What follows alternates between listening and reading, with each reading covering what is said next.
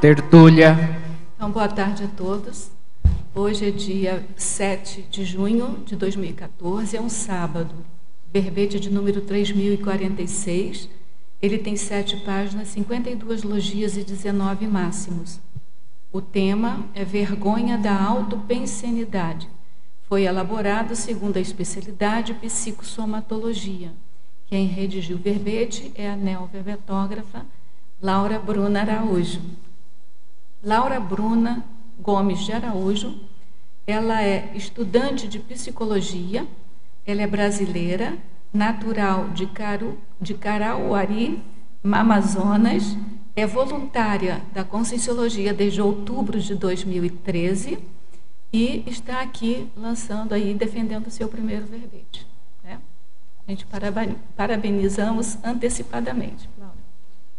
Bom, a vergonha da autopensenidade é o sentimento de indignidade quanto aos próprios pensamentos, sentimentos e energias tidos como inferiores, involutivos, indesejáveis pela consciência intermissivista, homem ou mulher, após cotejo com referencial mais evolutivo, reprimindo o porão consciencial ainda latente e colhendo a dinâmica da interação trafares, trafores, trafais na automanifestação consciencial. Na pensenologia, nós destacamos o holopensene pessoal da vergonha, o holopensene pessoal da autorrepressão, a predominância de manifestação antagônica da autopensenidade, a influência pensênica dos assediadores extrafísicos exacerbando as inseguranças pessoais e a, e a inversão do fluxo da autopensenidade. Na fatologia, a anulação de si mesmo, o restringimento somático frustrando a consim recém-ressomada, a decepção diante do afunilamento de cons, a necessidade de apoio e encorajamento, o ato de enxergar os sentimentos com fraqueza, a opinião impopular, o pedido de ajuda, o ato de tentar algo novo, a insegurança ao assumir o cargo de liderança, o fato de a vergonha alimentar-se do segredo, a coragem de ser imperfeito, a disposição para ser visto, a autoaceitação a autossuperação, a publicação de GESCONS. A gente chama atenção que são 26 linhas, o que constitui o um máximo para o verbete, e a gente leu só alguns itens, né? Tem muitos outros itens bem importantes aqui que merecem ser lidos. Na parafatologia, o fingimento por status da percepção energética, o ato de querer disfarçar as autocorrupções escancaradas à multidimensionalidade, os bloqueios holochacrais devido às autorrepressões, a despersonalização causada pelas interfusões nas assimilações parasimpáticas, a sensação de estar nu perante os clarividentes, a visita à parapsicoteca, os resquícios dos porões conscienciais na paragenética, as autossuperações através da abertura dos quartos escuros do psicossoma e o apoio ininterrupto dos amparadores extrafísicos de função. A gente quer também ressaltar na argumentologia o parágrafo tesauros, no qual a neoverbetógrafa coloca 20 ideias afins, desculpa, 30 ideias afins, visando esclarecer sobre manifestações, causas e efeitos na condição de vergonha da autopensenidade a gente chama atenção também de quatro parágrafos, assim, corridos, sem enumeração, mas são bem importantes para fechamento entendimento do, do, do verbete, do assunto. Né? Na remissiologia, nós destacamos os verbetes ausculta pensênica, autoexposição recicladora, constrangimento cosmoético, constrangimento terapêutico e imperfectividade. Frase enfática agora. O não enfrentamento das vergonhas pessoais tolhe a manifestação consciencial, refriando a aquisição da autoridade moral teática e verbaciológica base do veteranismo evolutivo. Na questionologia, você ainda tenta esconder as raízes latentes, escancaradas do porão consciencial? Empenha-se em buscar novos aprendizados e as autossuperações? Na, video, na videografia específica, a verbetógrafa coloca duas fontes, na filmografia específica, um filme, na bibliografia específica, coloca quatro fontes de referência e na webgrafia, uma fonte de referência. Agora a gente vai ler a mega análise daqui, não é mais feita pelo João Paulo, é feita pela equipe de mega análise da Enciclosapiens, a Enciclosábios é a instituição responsável pela uh, revisão, organização dos verbetes da, da publicação na enciclopédia. É, e as pessoas que participam dessa equipe são a Marilene Raganin, a Pilar Alegre e a Socorro Frazão. Nossos agradecimentos aí à equipe. Então, a mega análise do verbete da Bruna, da Laura Bruna, são as 20 expressões ou palavras que sintetizam o seu verbete, que chamam a atenção do seu verbete. Hétero, su, su, superestimação, autorrebaixamento, constrangimento, vulnerabilidade, assédio, timidez, segredo, inibição, insegurança, autoexclusão, imaturidade, inferioridade, autocorrupção, autovitimização e criticofobia. Pensenologia, verbaciologia, parasociologia, psicossomatologia e conscienciometrologia. Bom, antes da gente passar aqui para as perguntas né, dos tertulianos e teletertulianos, a gente quer fazer divulgação aqui da segunda jornada internacional de conscienciometrologia, é um evento que vai ocorrer de 4 a 6 de julho de 2014, portanto, daqui a um mês, menos um, menos um dia de um mês, né? Vai ser no auditório do discernimento. É, pelo que eu vi aqui, tem uma, uma série de boas apresentações, e pela minha contagem aqui, são nove conferências, seis painéis, quatro grupos de debate, ou seja, quatro mesas é, de debate, tá certo? Eu acho que vale muito a pena colocar.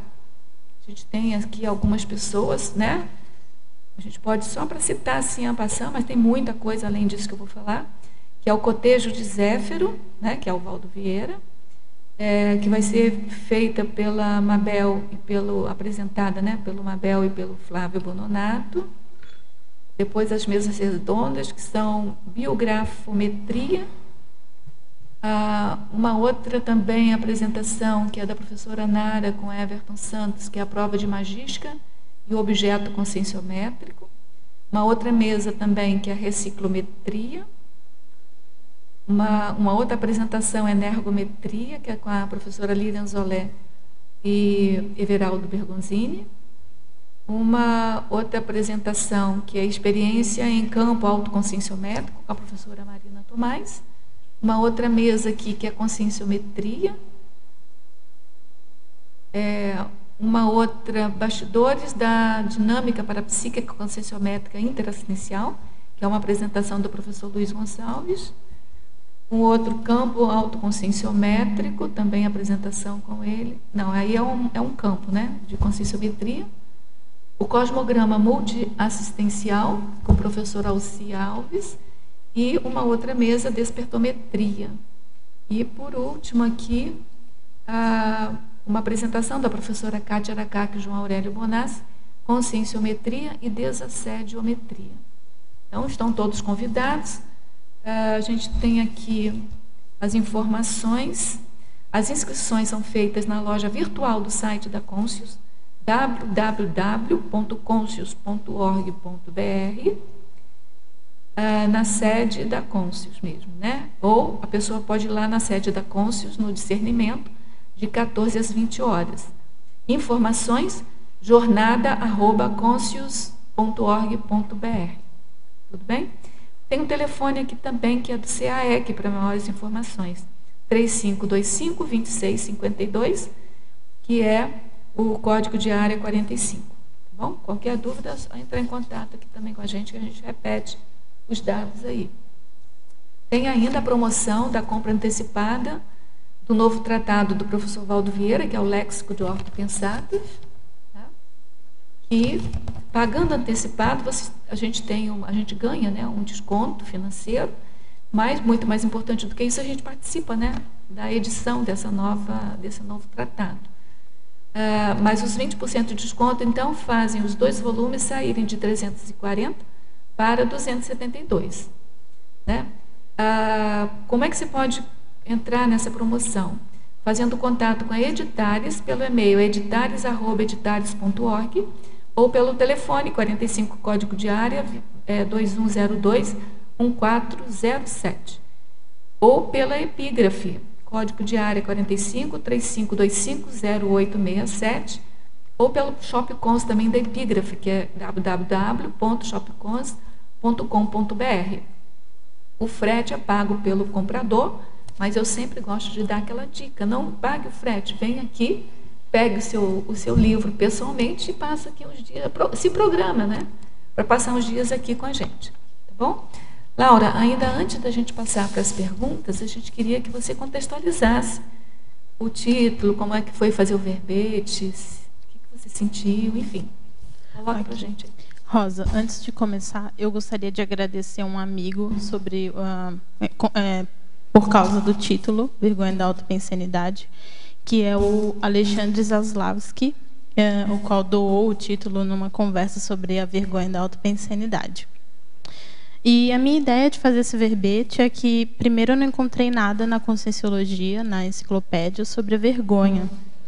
E, além do enfrentamento né, da minha própria vergonha, eu pensei, ah, é, assim, a vergonha se alimenta do segredo. Então, a gente tem que abrir um espaço para todo mundo falar das suas vergonhas, né, aquilo que ninguém fala sobre na CCCI. Ninguém tem coragem de falar. É. Né? Alguém tem que começar. Bom, foi isso? É isso. Então tá bom. Aqui as primeiras perguntas aqui do Teletertuliano. A verbetógrafa, a professora Laura, Megapensenologia, página 11. Poderia comentar sobre os dois megapensenes? Vergonha, última perda, há vergonhas homicidas? Tá, esses são é, megapensenes trivocabulários do uh, Manual de Megapensenes do professor Valdo. Uh, eu escolhi primeiramente o primeiro, vergonha, da, vergonha a última perda, porque vergonha é um pedágio que você tem que pagar até que, assim, não necessariamente tem que pagar, mas às vezes paga para chegar num, num estágio uh, mais avançado, é, ganhar mais lucidez. Então, se você para na vergonha, para no pedágio, você já perdeu antes de chegar no ganho, né? Então, é, você não pode se deixar refrear, parar por aí. E a vergonhas homicidas é porque se você não aceita quem você é do jeito que você é, né, você já está se é, é um autocídio lento, né? Você acaba ficando incoerente. Você tolhe a sua força, sua manifestação pensênica integral. Tem aquela condição também, né? Eu acho que pode ver pelo, pelo lado assim que às vezes a pessoa passa determinado tipo de vergonha que aí ela vai e mata o outro também, assim, no caso mais. Ela vai mais, o quê? Ela mata o outro para limpar a sua ah, a vergonha. Sim. Assim, uhum. é uma coisa mais que a gente. A gente não está. Acho que não está aqui nessa no âmbito da nossa discussão aqui, é, né? Eu acho que a gente não precisa mais não matar precisa mais outro. Disso, né? Sabe aqueles é. duelos, aquelas coisas que Eu acho tinha? que... Ela é. era vergonha, era uma vergonha que, ah, que também... se colocava... É, é mais cultural aquilo, né? E de época também, né? Uhum. É, eu acho assim, também aproveitando isso, é bom, é, todo mundo pode se manifestar que a gente não vai, não vai haver nenhum homicídio. Nenhum homicídio.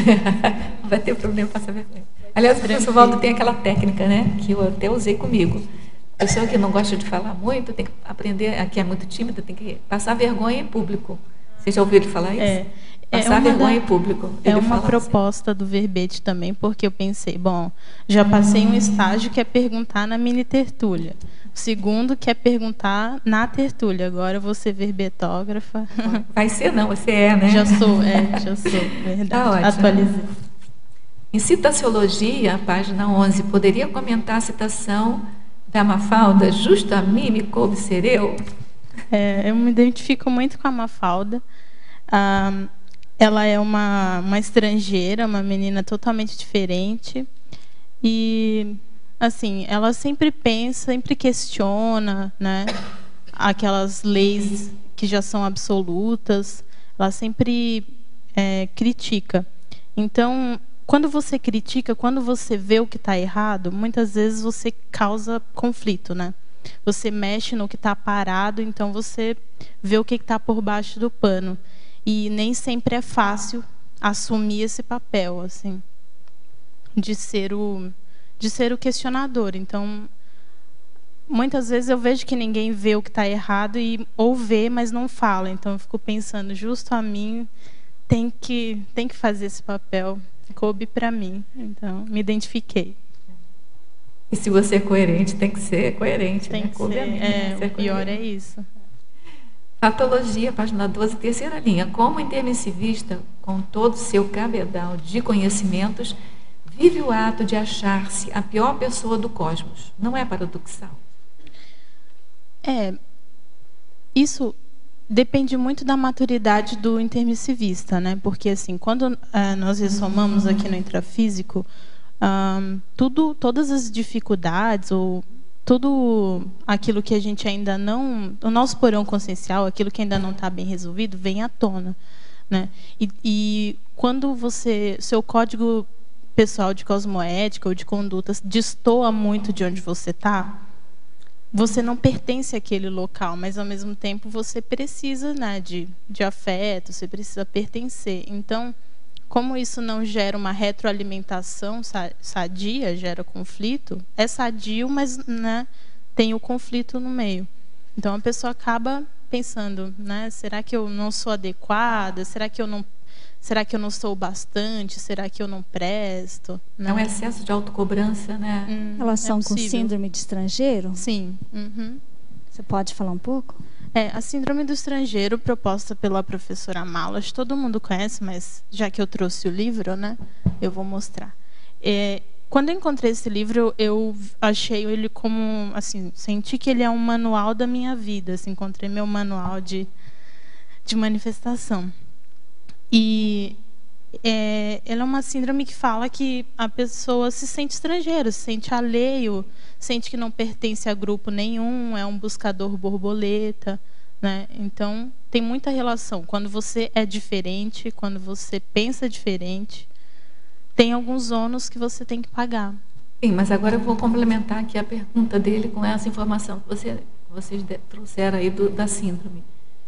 É, mas assim, você antes de conhecer a Conscienciologia, até a gente tem uma, um álibi, né? Não, eu não conhecia, eu estava sentindo aquilo, aquela angústia e não sabia bem o que é. é. Agora a gente já conhece. E mesmo assim a gente sabe que tem pessoas que ainda já conhecem a Conscienciologia, já conhecem os tratados, já, já estudou a, a síndrome da... Uhum. E mesmo assim ainda se acha... Uh, eu acho que isso é paradoxal mesmo, não, não é? se acha adequado. É que eu acho que envolve os valores, né, Rosa? Por exemplo, se você tem um valor de agregamento, de pertencimento ou de hétero reconhecimento muito forte, quando falta isso, independente de você estar tá ali fazendo matares, tá é, epicentrando uma, um processo novo, vai faltar aquele valor que você estava acostumado, né? Então você vai vai pôr em, vai questionar, será que, né, que eu estou fazendo vale a pena? Porque não estou ganhando o reconhecimento que eu tinha antes, por exemplo. Agora, esse sentimento também, eu não sei o que, que você acha, assim, para mim, esse sentimento é assim, ó, tudo bem que você se sente por algum momento a pior pessoa do mundo, mas aquilo não pode paralisar você. É Tem que jogar você para frente, também, né? né? É. Tem que jogar para você para frente, porque também se você se achar a rainha da cada preta sempre, você não vai para frente. Você é já estagnou no máximo. Então, eu acho que essas crises de crescimento, acho que elas são normais. Ainda é? bem que elas existem, né? Existem. Não precisa de você se colocar lá no fundo do poço e ficar lá também parado. Mas eu acho que tem um, uns pensamentos assim que de vez em quando vem, poxa, é. é podia ser melhor, não sei o que, acho que isso é importante. É. Né? é. a proposta é essa, porque se a gente vê os lados ruins, o nosso porão consciencial, e a gente falar, não, eu sou a pior pessoa, não sirvo para nada, e né? parou aí? E parou aí, não aí vai para frente. Então a vergonha, quando você sente vergonha, você entende, não, estou aqui, mas é porque preciso passar desse desse estado. Desse patamar, né? A proposta do A proposta é essa. Oi. Posso falar? Sobre eso. Eh, primeramente, pues parabéns por verbete, Laura. Eh, segundo, eh, eu acho que o hecho de, eh, creer ser la peor persona del mundo, eh, tiene que ver más no con el intermisivista o no intermisivista, sino con el ego. Eh, ese ego que te, el depresivo, el que él acha que su problema es el peor, su problema es el más importante, lo que él está pasando nadie, ninguém está pasando más. Entonces, yo acho que viene más a eso, a, a voltar toda la, la, atención en él y no ver que él hace parte del mundo, que, él, eh, que su problema es un problema difícil para su, su nivel evolutivo, más no es el único, mas es, es superable, todo isso. É como perder essa ligação com o mundo. É, e também eu concordo também vejo que assim nem sempre as pessoas fazem a conexão de que um trafor hoje já foi um trafar antes, né? É, é. é um, o trafor hoje é um trafar que foi burilado e que você soube utilizar aquilo para algo evolutivo. Se tivesse um, um retro espelho, né? Se é, olhasse ali, visse o anterior, ótimo. você veria, né? Se você saiu daquilo, tá bem, tá melhor agora, daqui para frente você pode melhorar cada vez mais. É, não foi ganho do nada, né? Então vamos lá. Enfatologia, página 12, 16 é, linha. Como superar em alto nível a insegurança ao assumir cargo de liderança? Olha, eu não sou líder, então eu, eu acho que eu, eu suponho né, que o primeiro passo é começar, se propor a ser líder e entender o que, que é ser líder. Eu acho que você está sendo líder agora.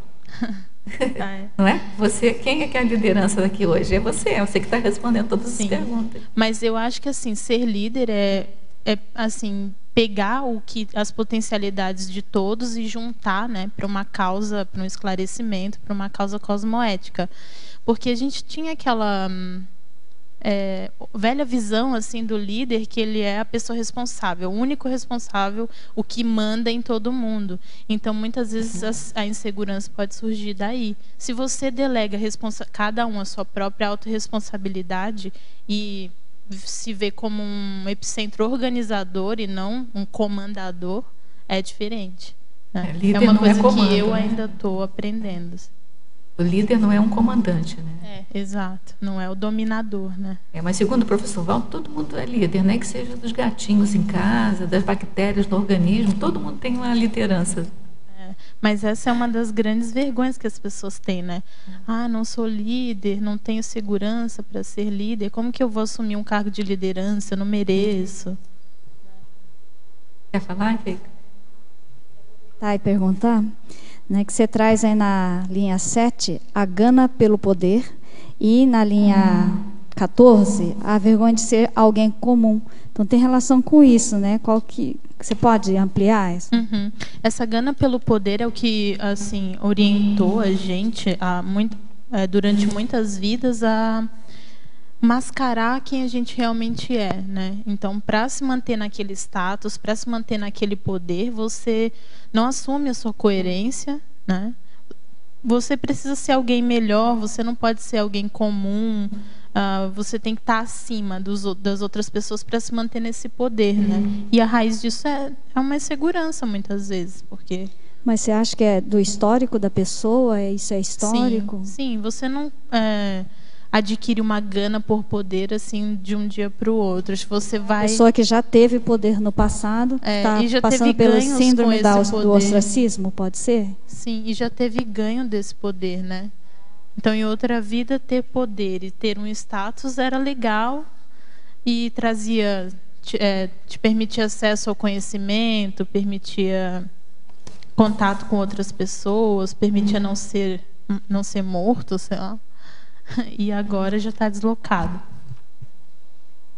Professora Laura, polinomiologia, página 13, final da penúltima linha. Poderia falar sobre polinômio, autenticidade, contato visual, abertismo, conexão, força presencial? Esses são estágios assim da da assunção da sua própria coerência. Então, quando você assume quem você é, né, sua autenticidade, você conecta com a outra pessoa através de quem você é pelo contato visual, o seu abertismo. Para isso, você precisa de um abertismo. Você é, estabelece uma conexão e aí você deixa manifestar a sua força presencial é, completa, integral, assim. Eu acho que isso é o ideal que as pessoas com vergonha não têm isso, né? Primeiro que a pessoa não é autêntica, ela é incoerente, ela tenta ma mascarar que ela não sente vergonha ou que ela não tem aquele traço que ela sente vergonha. E muitas vezes quando a pessoa não estabelece o contato visual é porque ela não quer passar aquilo, aquela pensenidade que ela está tendo. Né? Então, então, por exemplo, agora estou fazendo contato visual com a rosa. Se eu tiver um pato pensene sobre ela agora, eu com certeza não vou querer que ela veja. Eu, eu acho, no meu caso, eu não quero que ela veja. Então, eu vou olhar para o lado, eu vou tentar disfarçar, mas eu não vou querer fazer essa conexão, esse abertismo da minha pato pensenidade para a rosa. Né? É isso. Vem? É... Pues acho que hay una, una frase que dicen que los ojos es la llanela del alma y los médicos dicen que es la llanela del sistema nervioso, porque los ojos siempre tienen esa connotación de mirar hacia adentro, hacia la intimidad, hacia algo más no tan somático como, uhum. por decir. É um sistema bem complexo, né? Essa da visão, né? Uhum, fundamental Mexe com o cérebro. Né, nossa manifestar. Professora Laura, para evoluir, é fato que temos que passar e corrigir uma série de coisas, sendo aqui no intrafísico, seja no extrafísico. A pergunta é: seria possível a pessoa ter escolhido o trafar proposto no verbete durante o curso intermissivo para ser corrigido aqui no intrafísico com a família nuclear e o grupo Karma? Escolheu trafar. É, ele fala do verbete, talvez seja essa vergonha. a vergonha. Eu acho que você tem trafares e escolhe a família para superar aqueles trafares, né? Você não escolhe o trafar. Na verdade, pode ser que você escolha estar em autocorrupção, se manter nela e não é, superar os seus trafares, né? Mas eu concordo que a família nuclear pode ser, pode ser não, é um espelho, uma ferramenta que você tem para ver todas as suas manifestações patopensênicas e traforistas também, né? Eu também penso isso, eu acho, mas eu acho que, que é um pouco mais amplo também, porque o curso intermissivo, além de você vasculhar tudo seu, você, você começa a descobrir coisas que você nem lembrava mais de você mesmo, mas eu acho que tem uma coisa importante para antes de você vir aqui, que é a programação, é a, o planejamento é proexológico, né? né? Então você está certo, acho que é, vai pelas prioridades. Então, assim, a primeira coisa é a programação existencial, é o, é o PROEX. Aí a escolha da família vem em função disso. E a escolha do, do, dos trafares também vem em função disso. Ah, sim. De é. repente, dentro dessa visita para a psicoteca, que eu até é, cito no é, verbete, eu que você botou aqui. lá você deve analisar tudo, tudo. que você tem para calçar Nossa. ainda, né? Junto com o evoluciólogo. E aí você vê, não, isso aqui é o prioritário. Com, que, com quem que eu posso resolver isso aqui? Quem está envolvido com isso? E aí daí, então, escolher a família algumas, de acordo com esse Algumas traço. profissões, por exemplo. É? E aí já vai então, por exemplo, tudo é... que te dê ferramentas é. para superar aquele traço. Né? A pessoa é muito tímida, vem com uma outra. Mas às vezes aqui chega, vira, como você coloca aqui, né? A, a, o corpo físico, às vezes, ele bloqueia né? a, a. Você tem um item aqui sim, que você fala. Uhum, sim do corpo físico aqui. Essa é até uma, uma, das grandes dificuldades do intermissivista, é. né? Quando ele tem dificuldade durante é, depois da ressoma de convívio com o próprio corpo, porque ele obnubila a nossa capacidade, né? Então, por exemplo, agora esse é o meu primeiro verbete, assim como experiência pessoal.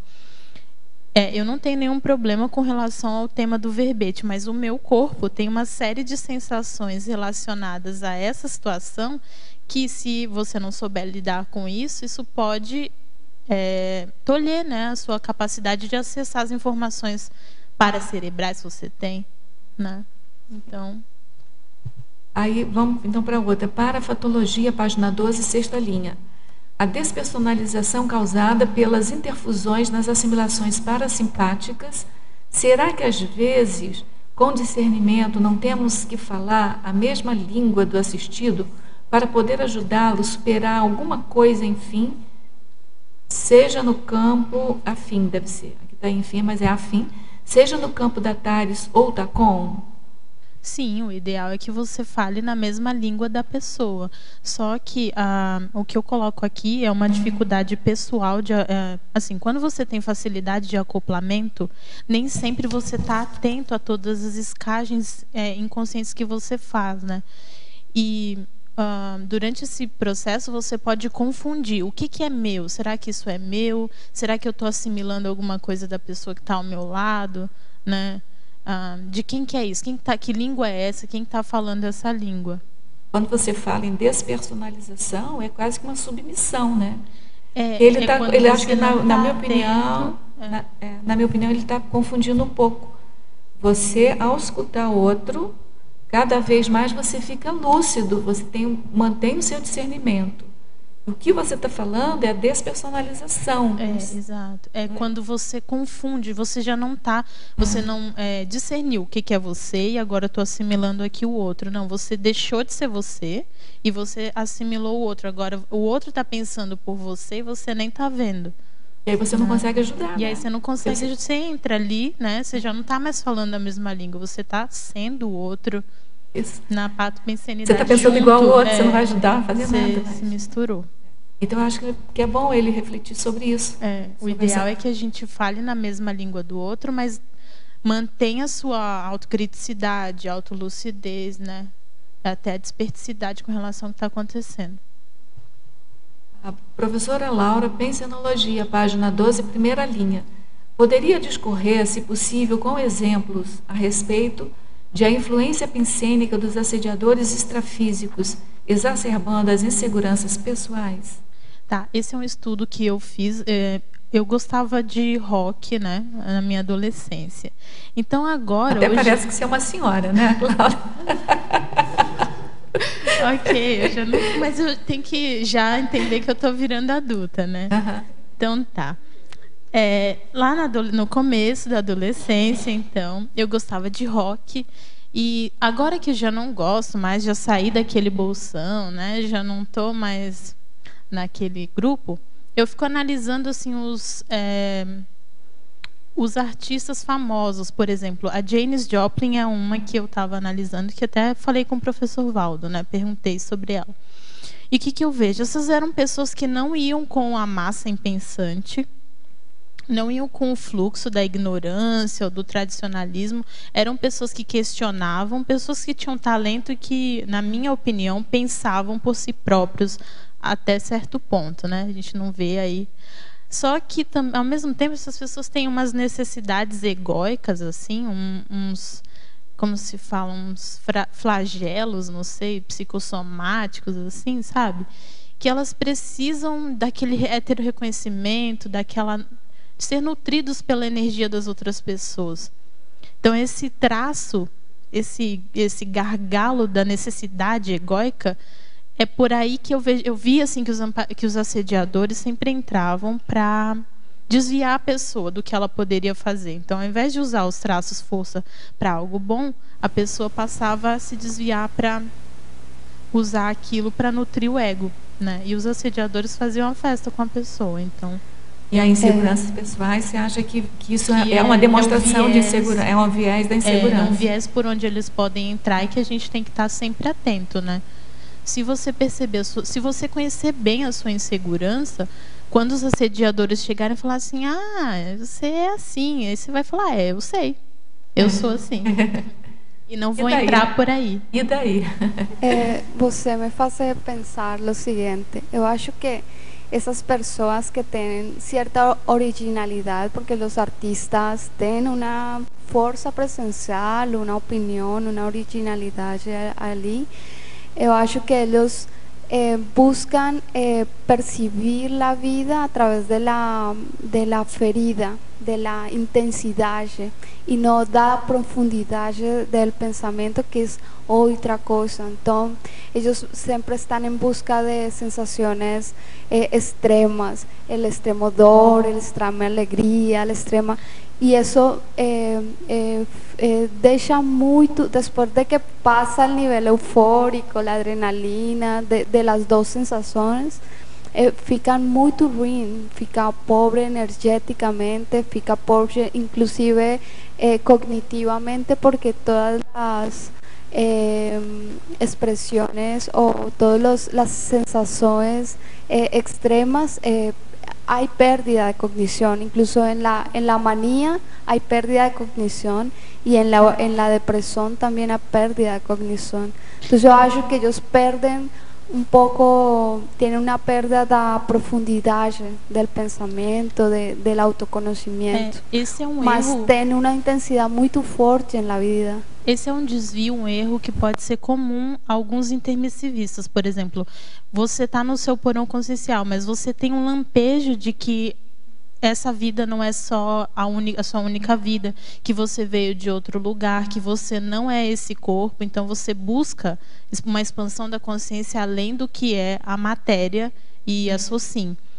E aí você pode cair num mataburro de procurar sensações diferentes, novas. Eu vejo que é muito por aí que os jovens entram nos tóxicos, por exemplo, para busca de, de novas sensações, né? Busca sentir energia busca de um sentido para a vida, mesmo que ele seja patológico, né? Que é o que acontece com esses Porque artistas. não conhece o outro caminho, né? É. E aí Mas- tem muito isso que a Adriana falou, de sentir que que o sentido da vida é mais profundo, é mais, né?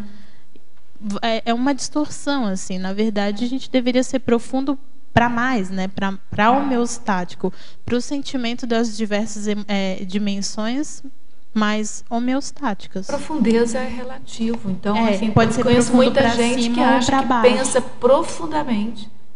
Eu tenho na minha família pessoas que se acham é, pensando profundamente e que, que eu aqui penso muito muito raso, entendeu? Porque já é como se eu tivesse já uma, uma teoria pronta. Depende não consegue perceber, né, é, pessoa. não consegue perceber o que, que é que a gente está chamando de profundidade aqui.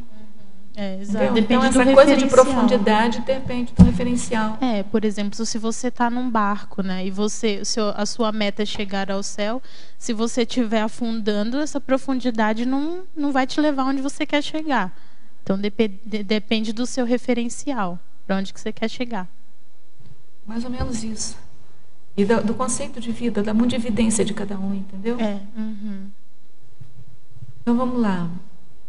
É, em Pensionologia, página 12, de segunda linha, poderia falar sobre a impossibilidade de refriar a autopensenidade?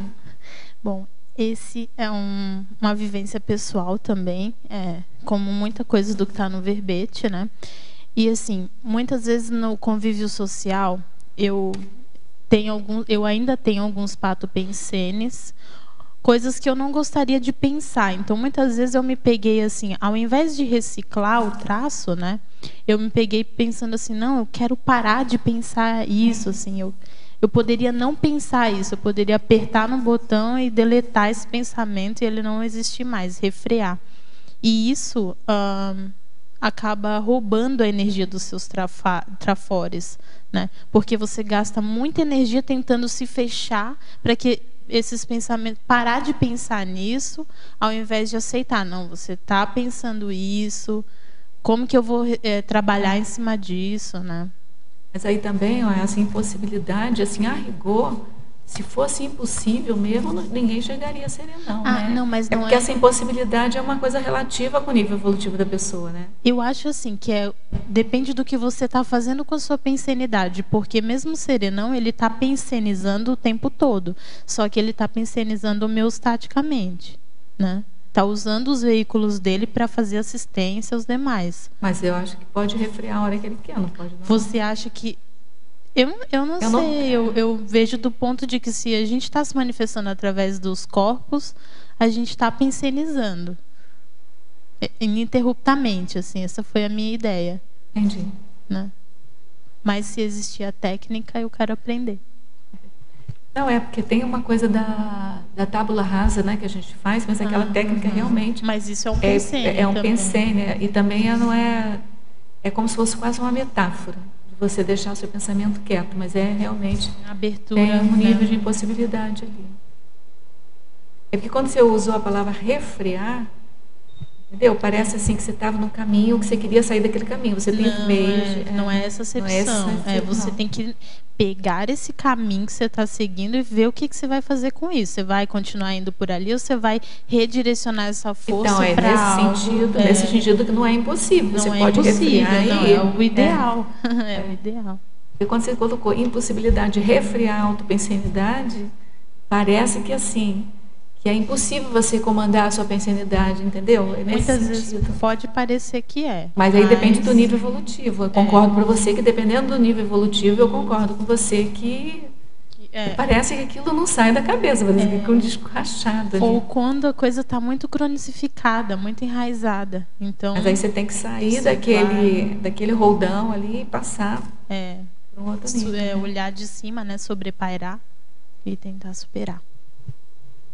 Enfatologia, é, página 12, terceira linha. Poderia explicar o ato de sentir-se inadequado?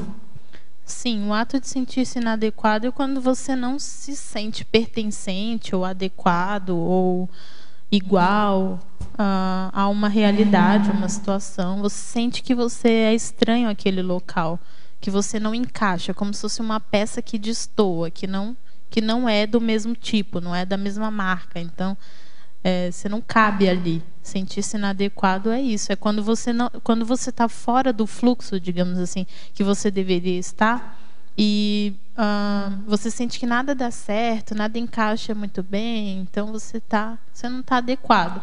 Não é, é, como quando você está no fluxo cósmico que a gente fala aqui, né?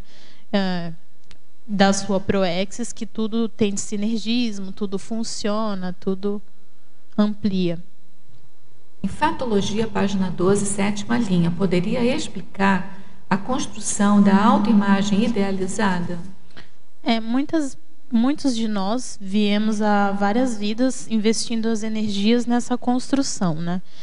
Construção de uma autoimagem idealizada e essa idealização muitas vezes vem de referenciais externos a nós, não do nosso das nossas metas evolutivas ou dos anseios mais é, homeostáticos, e sim vem da religião, vem da família, vem da mesologia, né?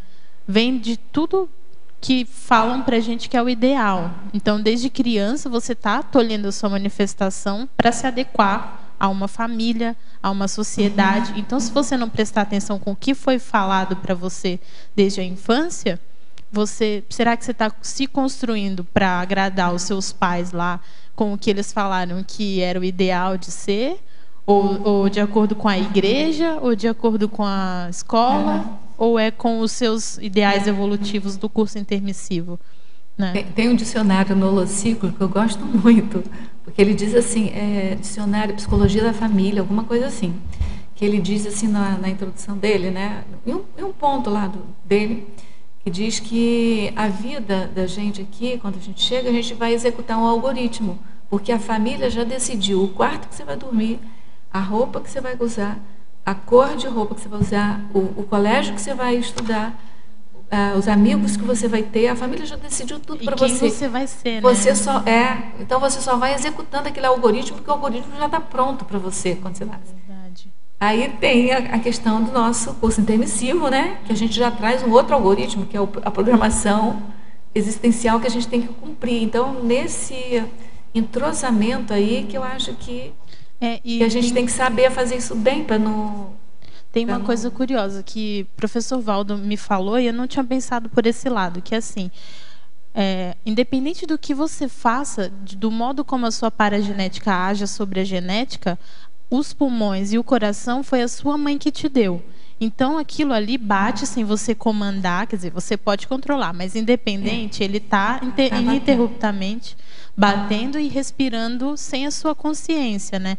Então, se você está é, tá construindo quem você é através, é, buscando, é, digamos assim, suprir as necessidades do coração, do emocionalismo, né, do hedonismo do seu corpo, muitas vezes tem que prestar atenção que esses referenciais podem não ser seus, né? É. Podem ser necessidades de uma programação aí genética que vem vendo, vindo a, a várias gerações. Isso é bem Será que você quer perpetuar isso? Só no automático aí, por quanto tempo São mais? as memórias, né, que vêm através é. daquele órgão que você herdou uhum. do pai, da mãe, da mãe. E você só vai reproduzindo, né? É. Então a gente tem que a gente tem que incluir o nosso algoritmo no meio do algoritmo que fizeram para gente. É. Então, Fatologia, página 12, sétima linha. Poderia explicitar a construção da autoimagem idealizada? Foi o que nós acabamos de falar. Foi assim? É. Desculpa. Ainda em fatologia, falei em algoritmo, fiquei sem algoritmo aqui. Ainda em fatologia, página 12, décima linha, poderia explicar a falácia da castidade puritanista como meio para a elevação espiritual? É, isso dentro do misticismo é bem famoso, né? Você tem que ser casto e puro para elevar, se elevar espiritualmente. Então, nós que temos esse esse lampejo de querer buscar algo além da matéria e ser uma consciência melhor, quando nós nos deparamos com a religião assim que fala ah, os seres elevados, né? A gente pensa, nossa, é isso, eu quero eu quero ser elevado também, eu quero ser um espírito além da, desse comum aqui que está todo mundo fazendo ou sendo. E aí você tem que tomar cuidado, né? Porque na verdade, assim, lá é uma coisa meio sectarista na yoga, por exemplo. Tem os seres elevados, mas para você chegar lá, você tem que transcender a matéria. Só que para eles transcender a matéria é ignorar a própria matéria, né? É ignorar o, as necessidades do seu corpo, da, da matéria em si. É e a gente sabe na conscienciologia que para você superar essas questões somáticas, para você virar uma CL, você tem que entender muito bem de tudo que tem aqui nessa, nessa escola aqui. Né? Então você não passa para a segunda série enquanto você não tirar nota boa na primeira. Uhum. a vevetógrafa coloca elogia, página 11. Primeira linha, poderia comentar aquilo de que todo mundo sabe, mas ninguém fala sobre. Na segunda linha, ficar de, de cor de pimentão. E o último, praticar os atos contrários à virtude. Essas perguntas agora são quatro, vem de Madrid para você. Tá. É, aquilo de que todo mundo sabe, mas ninguém fala sobre. Todo mundo acho, tem aí, está pensando um caso, né? Independente de onde, onde estiver um caso que, em que, sobre algo que todo mundo sabe, mas ninguém fala sobre. A própria vergonha de expor né, aquilo que pensa. É, eu acho assim que o ideal é, seria que nós tivéssemos maturidade para abrir, né, para ter uma manifestação clara, uma comunicação sem sem barreiras assim. Mas como a gente ainda não tem maturidade, muitas vezes todo mundo fica pensionizando sobre aquilo, principalmente quando é sobre uma pessoa. A pessoa já sabe, já sente nas energias, mas ninguém fica falando. Então fica aquela é, situação desconfortável assim, né? Então todo mundo falando, todo mundo já sabe da fofoca e a pessoa, né? Tá vendo, mas ninguém fala sobre. Um, Ficar da cor do pimentão. Ficar da cor de pimentão é quando a gente sofre uma vergonha, né? Então todo mundo. É o pimentão é, vermelho, né? É pimentão vermelho, é, né? Porque o verde é, não. Mas não sei se tem gente que fica verde, né?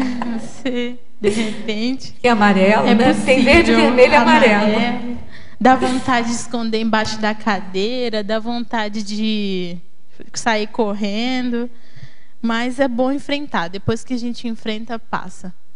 E o outro é praticar atos contrários à virtude. Atos contra a virtude. E aí tudo depende do que, que é o entendimento da virtude, né?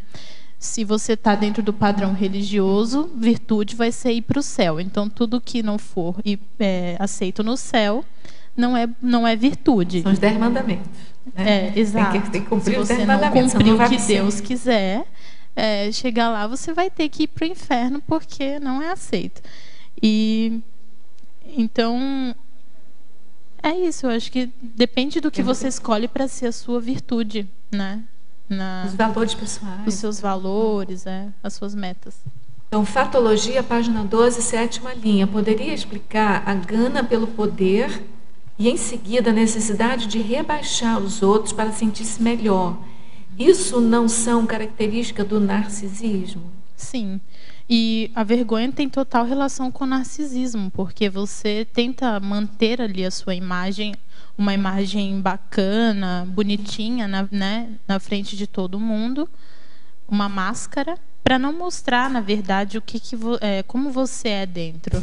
Então, o poder ele nem sempre pode é, precisa ser assim manipulação de muitas pessoas, né?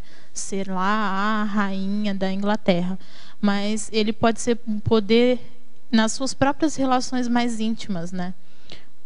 Qual é a, a imagem que você está mantendo para uh, não se mostrar uma pessoa fraca, para ficar por cima, para não se abrir, para não né, se mostrar como uma pessoa humana comum? O outro que ele falou é a necessidade de rebaixar os outros para sentir-se melhor. É, isso é uma necessidade de muitas pessoas que elas não sentem aquela, aquilo que as pessoas falam é, elas não conseguem conviver duas estrelas brilhando no céu, né? Para fazer um sinergismo brilhar mais, elas têm que apagar o foguinho da outra para que ela perceba o próprio o próprio brilho, né? E essa é até uma dificuldade de muitas pessoas quando elas têm poder assim, de chegar, por exemplo, no grupo evolutivo.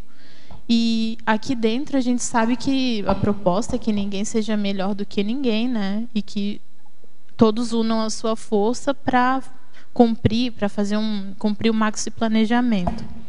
Então, dentro do grupo evolutivo, por exemplo, a gente já não pode mais manter esse tipo de, de postura, né? A, gente, a ideia é que você aprenda a conviver em hombridade. É a raiz desse problema aqui é a inveja, rebaixar o outro. A inveja. É. Patologia, página 12, oitava linha. Como funciona para o, para o gasto de energia para mascarar a própria vulnerabilidade? Como utiliza melhor essa energia? De que forma? Como utiliza melhor? É. Tá, então assim, quando é um você está se manifestando um, através dos seus trafores ou mesmo da sua coerência, a sua energia flui livremente. Então, se você é uma pessoa que fala sempre a verdade, que se expõe, que se abre, você até tem uma frase, né? Se você fala sempre a verdade, você não precisa de memória.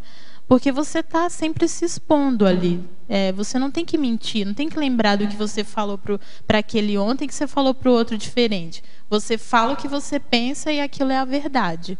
Né? Então, sua energia flui livremente. Agora, quando você tenta mascarar o que você faz, você tem que, né, você inventa uma mentira, você tem que inventar um monte de outras para su sustentar aquela mentira. Tem que enraizar o negócio, senão uma hora vão descobrir lá, né, a sua autocorrupção. agora, ainda em fatologia, página 12, quarta linha, poderia falar do medo disfarçado de respeito? O medo disfarçado de respeito é o que muitas crianças sentem pelos pais, né? Então, uh, muitas vezes os pais, uh, você questiona, mas por que, que eu tenho que fazer isso? Ah, porque eu falei. Porque se você não fizer, você vai apanhar. Né? A gente tem, tinha muito essa cultura, pelo menos quando eu era criança, de, de que vai, é, se não fizer, vai ser reprimido, né? vai, vai para a palmatória. Então, ah, isso não é respeito, né? Muitas vezes quando os pais olhavam, a gente era aquelas crianças que assim, se o pai só olhar ou a avó, no meu caso, você já sabia que se passar dali é a palmatória certeza. Então isso não é respeito, né? Isso é medo, porque respeito é quando você entende, você compreende o que que o que está acontecendo, por que que existem essas leis, o que que eu ganho é, é, cumprindo isso, né? Uhum. A professora Laura, Fatologia, página 12, 12 linha. Poderia comentar o abafamento dos resquícios do porão consciencial ainda latentes na pré-adultidade?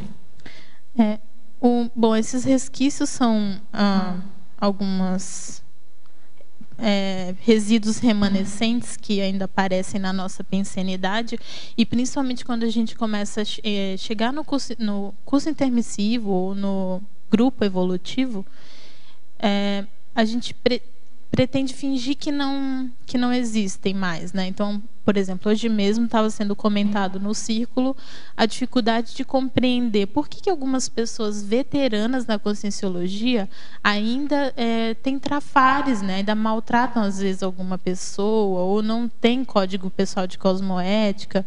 Então, quer dizer, essa pessoa está sendo coerente com o nível evolutivo dela.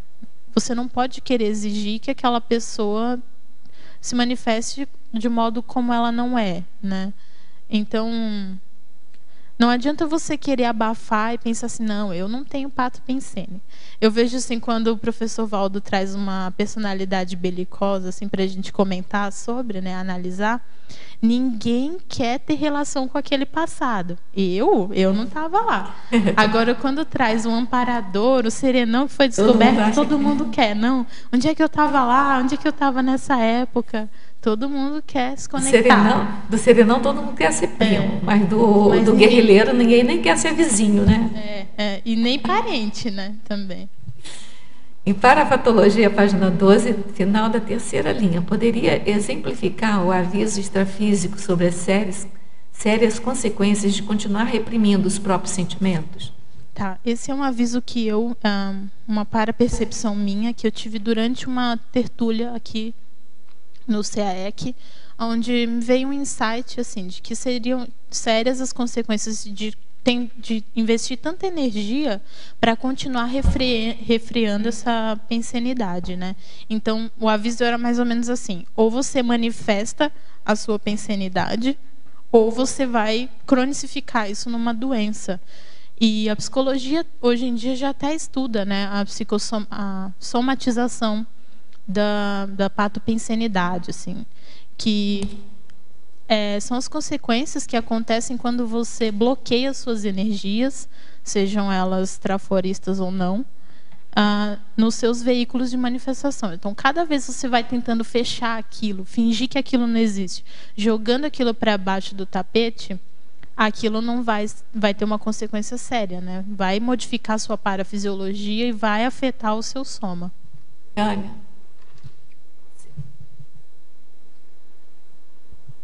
na página 13, na fatologia, na quarta linha, os imperativos somáticos inadiáveis. O que, que você quer os trazer para a gente? Os imperativos somáticos inadiáveis são as necessidades do soma, aquelas que não podem ser proteladas, né? Que acho que todo mundo conhece bem, não vou Algumas, falar né? que eu... Mas é comer, é dormir, respirar, ir no banheiro. E são coisas que, quando você ressoma, às vezes é meio estranho. Assim, você fala, pô, vou ter que ir no banheiro todo dia, vou ter que levar esse corpo para tudo que é lugar, vou ter que andar para chegar até lá. Então não tem como protelar, né? Seria ótimo se a gente não tivesse que dormir, comer, pensar no que vai cozinhar, mas faz tá. parte do é o pedágio. Às vezes é vergonhoso também você admitir ah, eu ainda tenho um soma, ainda ainda estou nesse nível de ter que me manifestar através do soma para fazer assistência? Não, o problema é quando você é, é, parte da hipótese de que você já conviveu com uma pessoa que hoje, quer dizer, conviveu no, bem no passadão, que hoje você ainda está aqui como pré-desperta ainda, né? E a pessoa já é serenona, já está é. quase CL.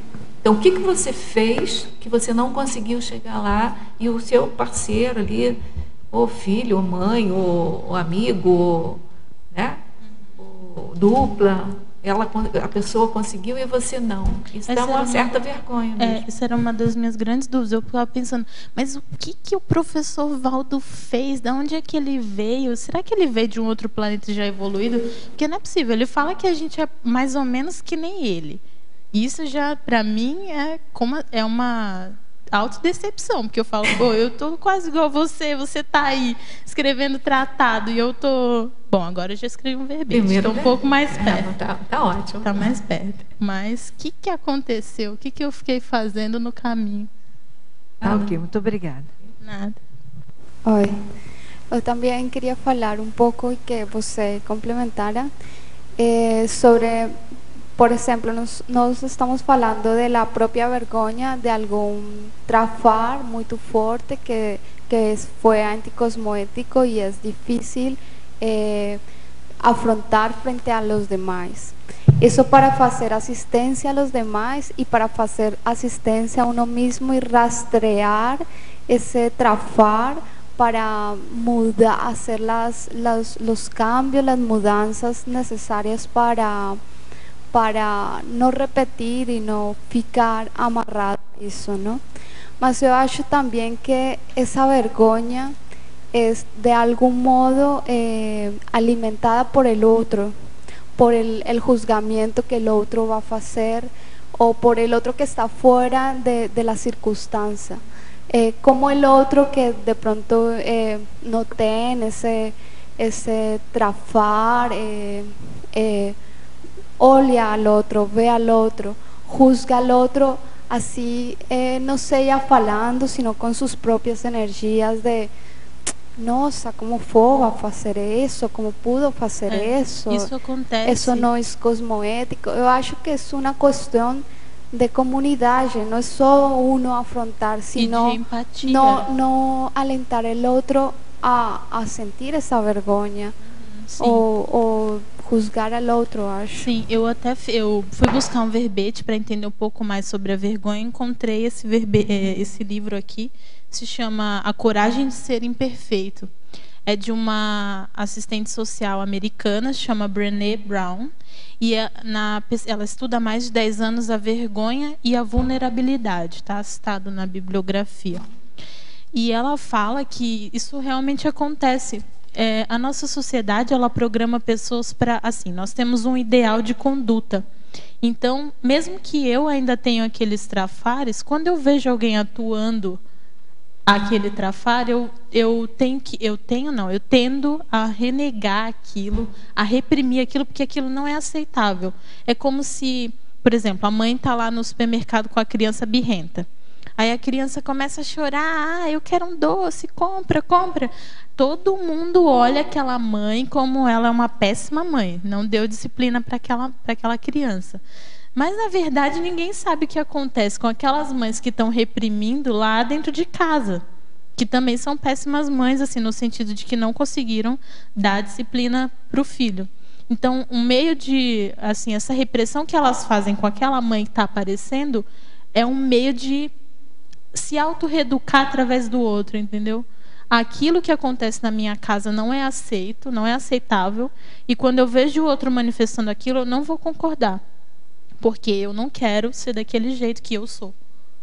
Então, se a gente tivesse uma cultura de entendimento, não, aquela pessoa está passando por aquilo, nós também passamos, apoiar aquela pessoa, a proposta dela é essa, que você crie redes de apoio que que se coloquem no lugar, que sejam empáticos, né, para superar juntos com mais força Agora- esses trafares. Agora, Laura, você não vê que isso, a gente tem aqui o princípio do exemplarismo? Você vê alguma diferença para o princípio do exemplarismo? Porque aí a gente trocaria a vergonha pelo exemplarismo. no- né? Você vê o que está acontecendo com o outro, positivo ou negativo. Né? Se for positivo, você quer atingir aquilo. Tá. E se for negativo também, você não quer atingir aquilo. Mas né? digamos com o negativo, você vê algo que você não quer. Você vai lá e dá o exemplo do que é o ideal, Ah, mas isso. não reprimindo, não Não recriminando a reprimir outra isso. pessoa. Então, você joga uma energia de que você entende que ela está naquela situação e que você já conseguiu sair dali daquele modo. Aí você vai e demonstra. Então, o princípio seria o princípio do exemplarismo seria, Seria. uma, uma técnica, vamos chamar assim, para você melhorar esse Para você ajudar a outra pessoa. E para É. se ajudar também, né? Uhum. Que é o que a gente faz aqui na Conscienciologia, né? A gente tenta juntar os trafores de todo mundo e através desse exemplarismo, que é trafar para você, é trafora em mim, então eu te dou o exemplo. Só tomando cuidado assim para a gente, né? Ah, agora eu sou meu trafar virou trafora, então não, eu olho o outro e reprimo o outro. Não, a ideia não é essa. Você estava lá, você soube como superar. E agora você vai demonstrar para a pessoa ajudando ela. Quando você estava lá, você queria que alguém fizesse isso com você? Não queria. Então, vale lembrar.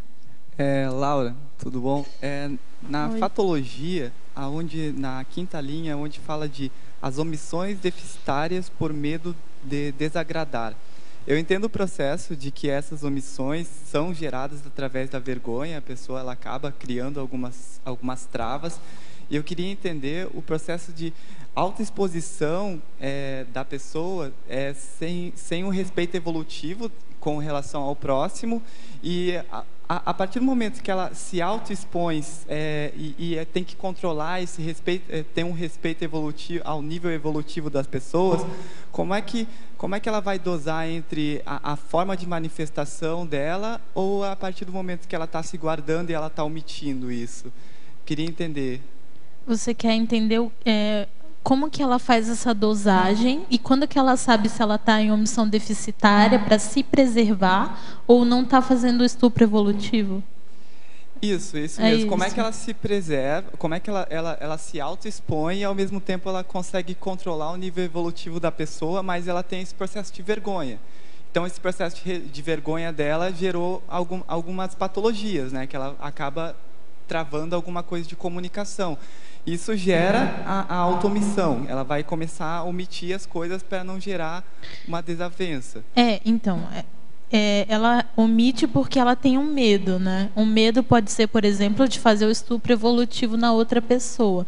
Então, eu acho que você vai tateando, vai tentando perceber qual que é o nível evolutivo do outro, como que você pode entrar. Para mim também é uma dificuldade ainda, assim, de percebendo assim, o que você tem para dar é mais que a necessidade da pessoa?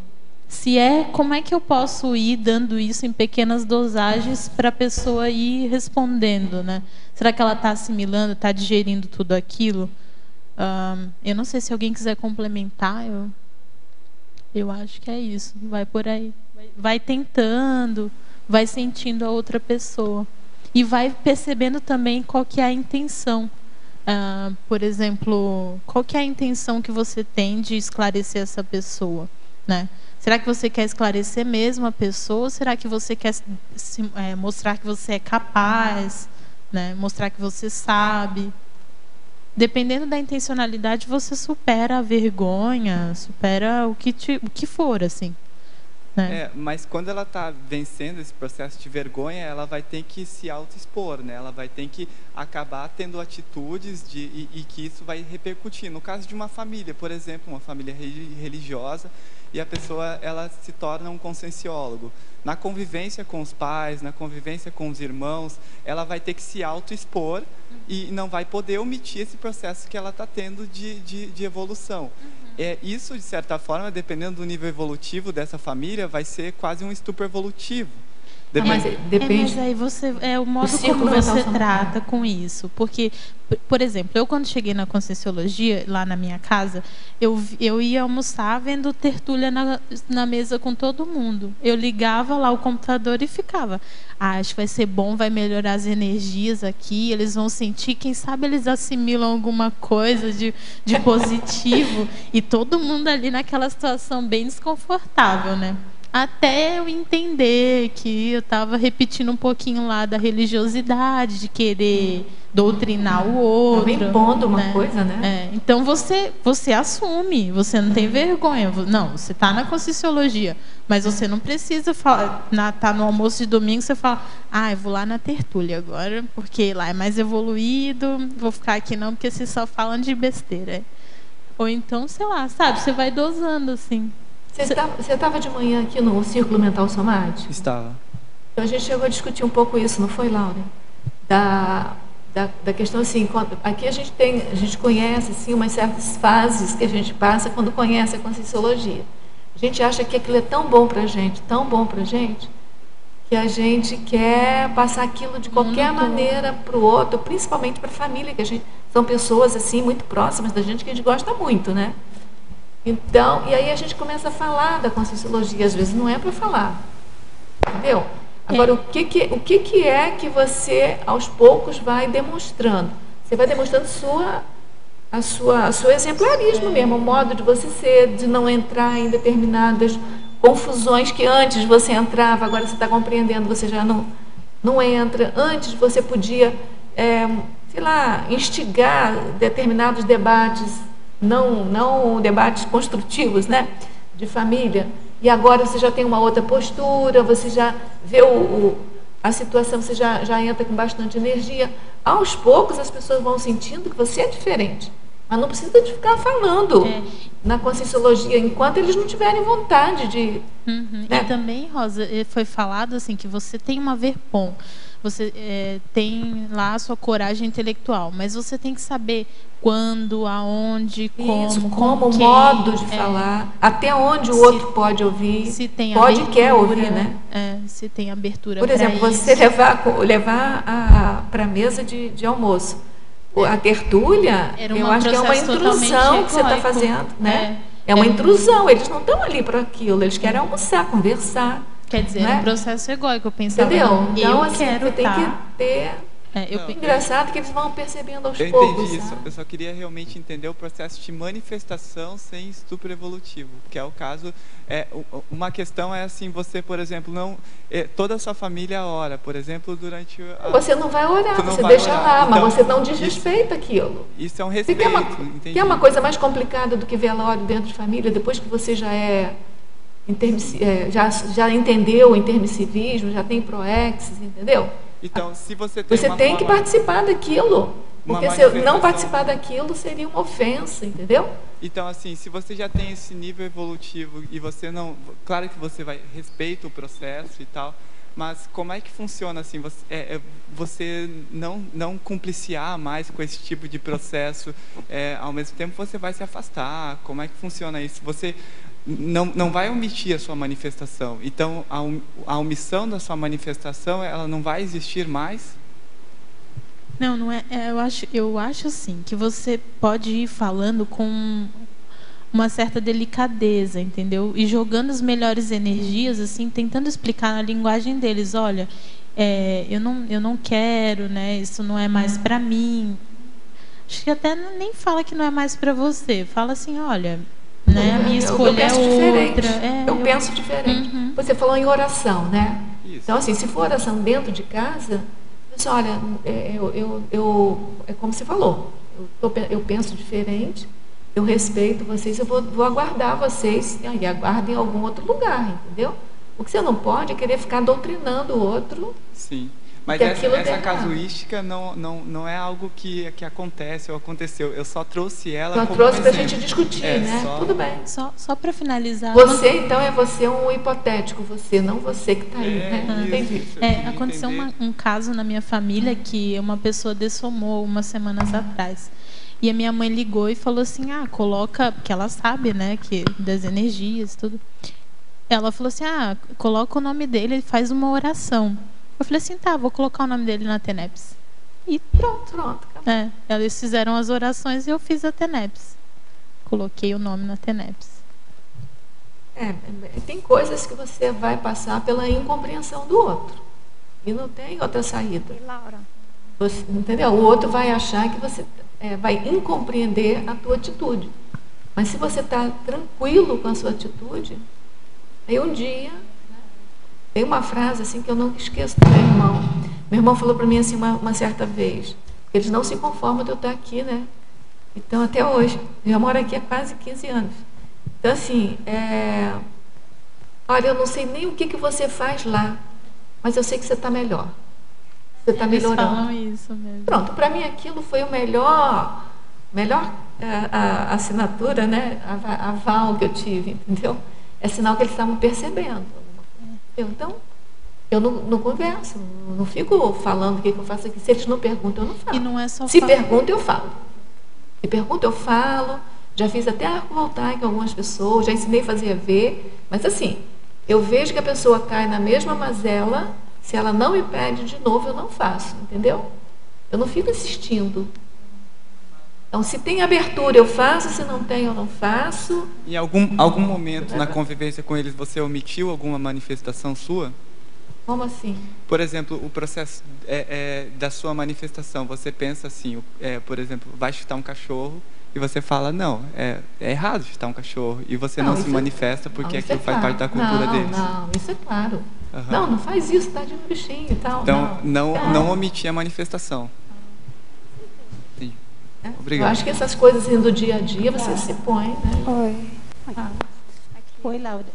Ela estava na frente. Parabéns pela tua coragem intelectual.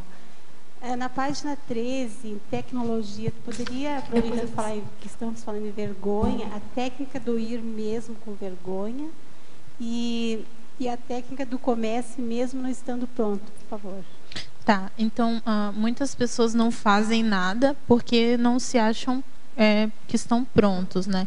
Quando eu fiz o meu primeiro verbete, a Dulce me entregou ele todo rabiscado, como eu já contei aqui em outras tertúlias.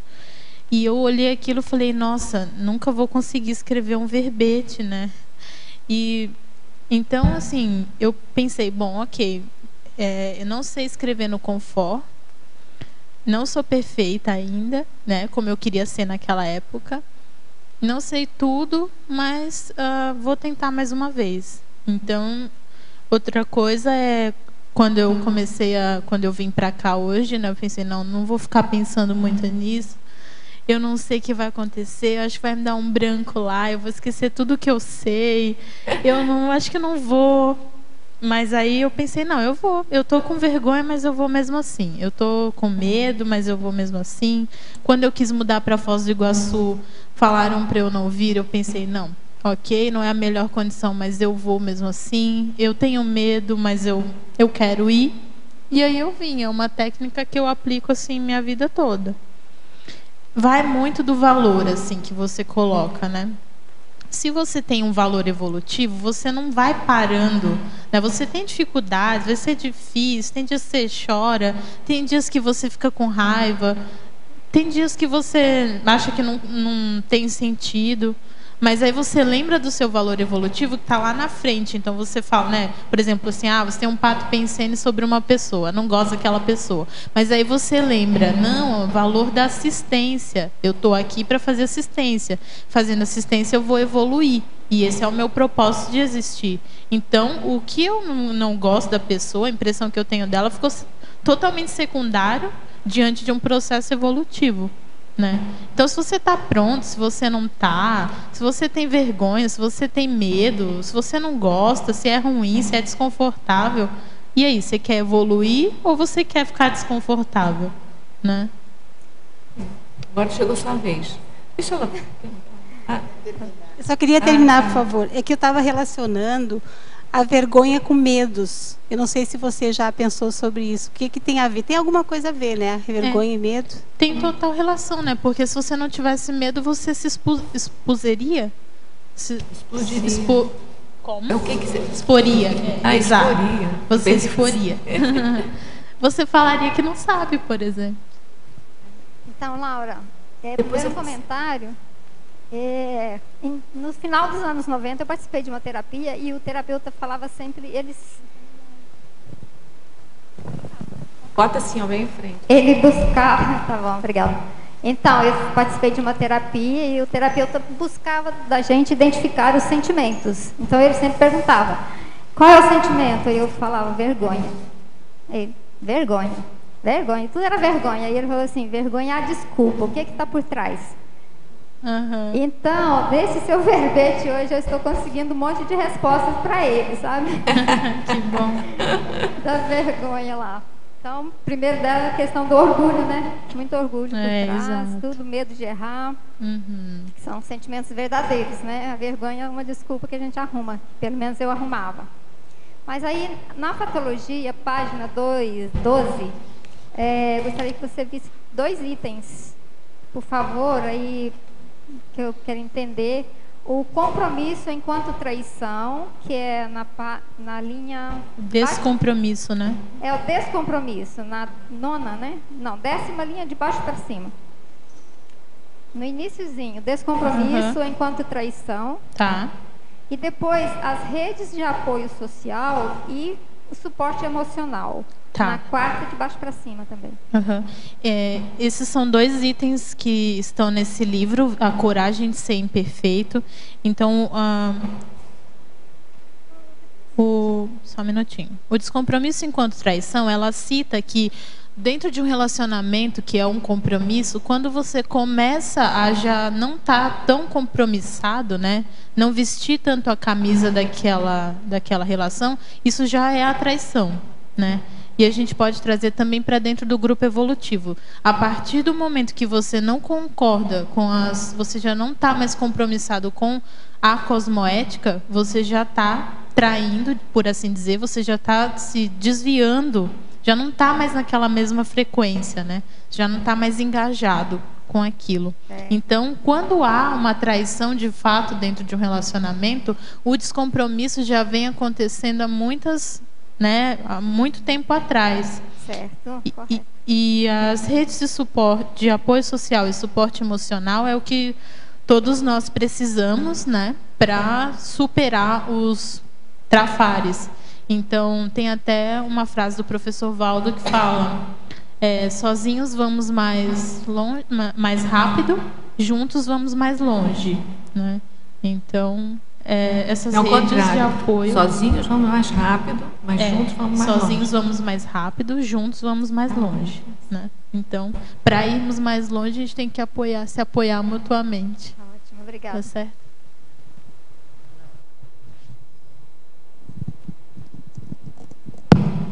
É, em efeitologia, na página 13, na segunda linha, os efeitos dos retrovínculos presentes no momento atual. Você identificou esses retrovínculos? Poderia falar sobre eles? Tá. Eu não identifiquei os retrovínculos, tá? Mas muitas afinidades que eu tenho com as pessoas são afinidades que não são do momento atual, assim, que tem um, uma conotação uh, histórica. E não só isso, também o reconhecimento energético das pessoas.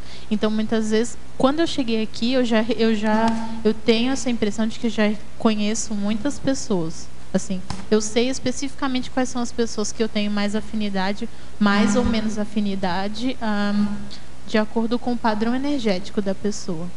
Então, muitas vezes eu estou na rua, assim, sentada, almoçando no, num restaurante passa uma multidão. No meio dessa multidão, eu vejo aquela pessoa. Por que, que aquela pessoa me chamou a atenção e a justo do lado não chamou? É porque é um, eu, eu denomino como um retrovínculo, né? Alguém que eu já conheci e que está aqui nessa vida agora também. E em parafatologia, na penúltima linha, as autossuperações através da abertura dos quartos escuros do psicossoma. Você poderia falar mais sobre isso? Sim. Essa é uma citação do, do livro do professor Tony Moscoff, Autenticidade Consciencial. E ele fala que quanto mais você tenta esconder né, os seus trafares, as suas dificuldades, é, quanto mais você tenta fechar esses quartos escuros do psicossoma, mais você vai adiando a reciclagem que eles, é, que eles merecem, né, que eles precisam, que você precisa reciclar para para evoluir. Então, a proposta dele é que nós é, abramos, né, que a gente abra nosso, os nossos quartos escuros do psicossoma, o porão consciencial que fica ali embaixo, que ninguém nunca abre para dar uma limpada, e areje, né, deixe ar entrar, deixe energia entrar para reciclar o que o que está guardado ali há muito tempo. Outra citação também que o professor Valdo falou, assim, é, eu gosto bastante das citações do professor Valdo. Ele falou esses dias que a consciência é vida, a vida é movimento, o movimento é reciclagem e a reciclagem é evolução. Então, se você não está reciclando, se está deixando esses quartos escuros fechados, parados, se você está protelando seus trafares e não faz algo para mudá-los, você está regredindo, né? Então a ideia, a ideia é que a gente abra logo, vai passar vergonha, vai dar medo, vai aparecer o orgulho, mas a gente vai reciclar. Vale a pena. Laura. É, na página 12, na sexta linha, você fala o anseio pela heteroconhecimento e apreço. E lá embaixo, na, na, na, na décima segunda linha, a dificuldade em expor afetividade. Você poderia fazer um paralelo aí para gente? Tá. Então, a dificuldade de expor afetividade é que muitas vezes, quando você tem o orgulhão, a afetividade parece uma coisa, principalmente quando você é intelectual, né, que você quer focar na racionalidade, a afetividade parece uma coisa, uma besteira, banal. Você se sente tolo por sentir aquilo. E é um momento que você tem que baixar todas as suas defesas para se abrir e mostrar o que você sente. Mas é horrível assim. Então, quando você tem essa necessidade de hétero reconhecimento e apreço, muitas vezes você não vai demonstrar tudo o que você pensa, né? Tudo o que você sente, porque você não sabe o que, que o outro vai fazer com aquilo, né? Você não sabe que, que ele vai, como que ele vai reagir com aquilo. Então, muitas vezes, por exemplo, você gosta de um amigo será até que ponto você vai abrir mão daquela amizade para manifestar o que você sente pela pessoa, digamos que você gostasse da pessoa, sendo que a pessoa pode reagir mal, ela pode receber, ela pode te rejeitar e aí você não fica nem com o amigo e nem com a pessoa que recebeu, né, a, o que você sentia. Então, essa é um a pessoa às vezes prefere ter esse reconhecimento de não, você é meu amigo, tudo. Eu prefiro ficar com um vínculo que é seguro do que perder um, me abrir ao que eu não sei. Questão é a determinação, né? Tem que determinar logo, né? Deixar claro. É, deixar logo É melhor claro. perder, é. se for o caso, né? uhum. né? É, esse seria a coragem, né? É. Agora, aqui em parafatologia, na sexta linha, as senhas recuperadoras de cons. Tá, esses são gatilhos que muitas vezes a gente, um professor, numa aula de conscienciologia ou uma palavra durante a mini tertúlia ou durante a tertúlia ou em algum algum lugar, algum vídeo, algum filme que a gente assiste que parece ligar alguma coisa na memória. Então, eu no meu caso pessoal, eu fazia uma pesquisa buscando energia desde os 12 anos. Pesquisei em todas as religiões. Quando eu cheguei na primeira palestra, a pessoa falou assim: ah, o estado vibracional, você pode se autodefender. Pensei, nossa, é isso, eu não preciso de ninguém mais para mexer com energia para expandir minha consciência. Eu não preciso de nada externo a mim e nem preciso ficar lá na montanha meditando. Eu posso fazer o estado vibracional e o negócio funciona. Lá. Eu falei, gente. Tá, olha, depois dele a gente vai é, avançar aqui, mas você faz a pergunta e depois que a gente acabar aqui, a gente volta para vocês, tá? Okay. Laura, você poderia falar um pouco sobre o primeiro polinômio, que é um bem grandão aí, polinômios instintos sexuais, a sexualidade infantil reprimida, promiscuidade energética, promiscuidade sexo sacral, medo de seduzir. Tá. Esse é uma fonte de vergonha já desde a antiguidade, né? Assim, principalmente para as mulheres que eram tidas como é, bruxas ou é, feiticeiras, devido ao fato de que elas seduzem, que elas, que o ginossoma tem essa energia diferente que, digamos assim, obnubila os homens, né, os, as vítimas. E, assim, até na, na os árabes, as mulheres usam burcas, né, ou usam aquelas roupas compridas para que o corpo delas não, a energia delas não ah, seduza, não obnubile os homens, não né, tente, né, não, não, não fiquem tentados. Não fiquem tentados. É. Então isso aí é tem relação com aquele com a questão religiosa do mito da, do Adão e Eva, a questão de que a mulher é que leva o homem para a tentação. Então eu vejo assim que é bem difícil ainda para muitas pessoas lidarem com os instintos sexuais. Para mim pessoalmente eu acho bem desconfortável, assim, é, como exemplarismo, né? Quando você vive no, você está lá numa comunex avançada, você está vendo ideias mentais somáticas, aí você chega na Terra e tem é, instintos sexuais. Então você não, é, assim, é bem desconfortável. Eu quero fazer, trocar ideias com uma pessoa de forma racional. Aí a, a, acontece umas coisas instintivas e você fala, nossa, mas como assim? Fica quieta aí, que eu quero só trocar ideia mental somática agora, pode ser? E é bem difícil saber lidar com isso, eu, eu acho, assim. Outro ponto bem é, que eu acho sério é a sexualidade infantil reprimida. A nossa sociedade ainda não sabe como lidar com a, a sexualidade das crianças, né? Então, muitas vezes a criança começa a manifestar desejos sexuais e os pais tendem a reprimir e a por não saber como lidar com isso, né? Então, é bem tem, tem que ser bem cuidadoso aí nessa área e ver assim quais das nossas repressões sexuais começaram lá na infância.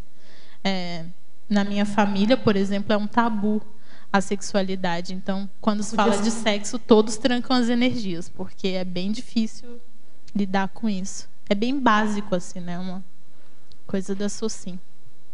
Tudo bem? Bom, aqui depois a gente passa de novo para vocês. Professora Laura, Laura, Estrangeirismologia, página 11, poderia explicar a origem e o significado da palavra rapiar? Depois você... É o mesmo que vergonha? Sim, é vergonha na língua finlandesa. Tá? Para os intermissivistas que ressomarem na Finlândia. Já sabe falar. Já sabe falar vergonha. Em português, né, se quiserem traduzir. Professora Laura, Fatologia, página 12, quinta linha, de baixo para cima. Poderia comentar os relacionamentos suportadores do peso da história pessoal? Tá. Esse é o motivo pelo qual, assim, no, é, em cada relação que a gente tem, a gente cria um vínculo com as pessoas. Então, quanto mais intimidade você tem com as pessoas, mais, mais forte vai ficando aquele vínculo. Né? Se a gente pensar nos vínculos enquanto, é, em termos de pontes entre as pessoas, quanto mais forte for essa ponte, mais conteúdo você vai poder é, transmitir, vai poder passar. E é por isso que muitas vezes a gente descarrega tudo que a gente tem guardado nos vínculos mais próximos da gente, porque a gente sabe que aquelas pessoas vão aguentar tudo que a gente tem para falar e não vão abandonar, não vão romper o vínculo, né? Esse é um medo muito grande é, que as pessoas têm de se manifestar, de mostrar quem elas são, porque elas têm medo de quebrar esses vínculos. Ninguém quer ficar sozinho, né? Ninguém é, é vive isolado. Então, uh, você vai sempre ponderar. Será que eu me, eu me abro muito aqui e esse vínculo, será que ele vai suportar o peso de toda a minha história? Imagina, história milenar. Então, você tem que sempre ponderar. Por exemplo, é, nós temos um vínculo, um tipo de vínculo com o porteiro do CAEC, que é uma pessoa que nós falamos todo dia e damos bom dia. E tem outro vínculo com a sua mãe, que foi quem te deu o corpo físico, né? Ou um outro vínculo com a melhor amiga, sei lá né? Porque você não vai chegar para o porteiro que você só fala bom dia e fala assim: olha, ontem lá em casa você não sabe o que, que aconteceu.